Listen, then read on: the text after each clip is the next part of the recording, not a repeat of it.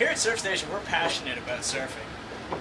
Whether it's watching surf videos, Oh man, look at that breaker. Look how big that breaker is. watching contests on the internet when we're supposed to be working, Yeah! or whether it's tracking storms that might actually give us some waves here in Florida. Or whether we're just practicing while we're supposed to be working.